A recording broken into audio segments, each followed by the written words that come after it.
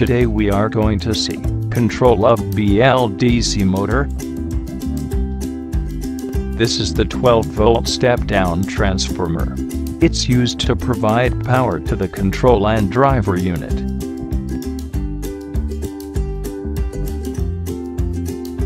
Another 12 volt step down transformer is used to power circuit.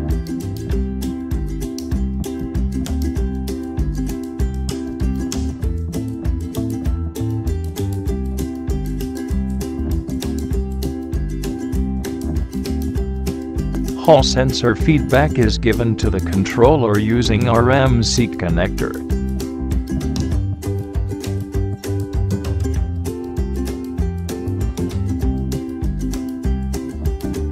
Connect the motor windings to the terminals.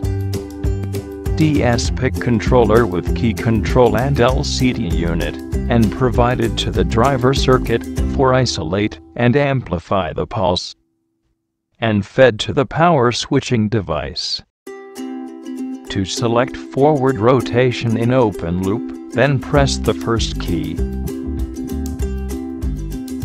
And, again the same key, to increase the duty cycle. To decrease the duty cycle, press the second key.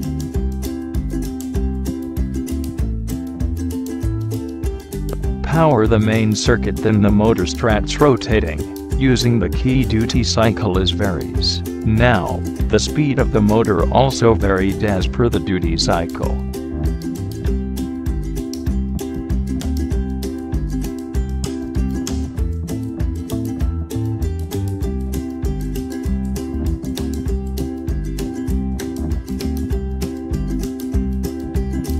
press reset and select the reverse direction to run the motor in reverse direction.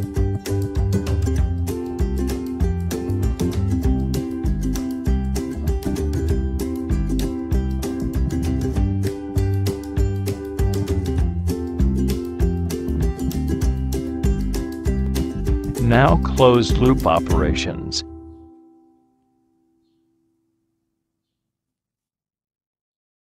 Select the forward direction as first key. To select the closed loop, press second key the then press the third key to set the KI value that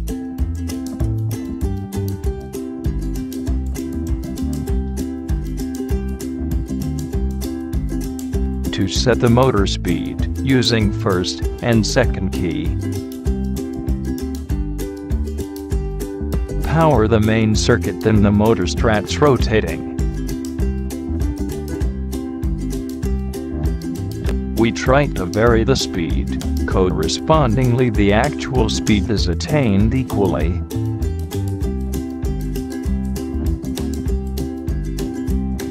Press reset and select the reverse direction and set speed.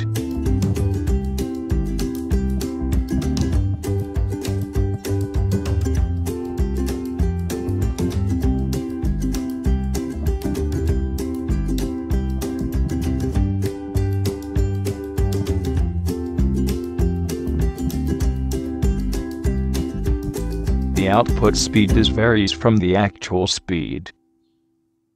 Thank you.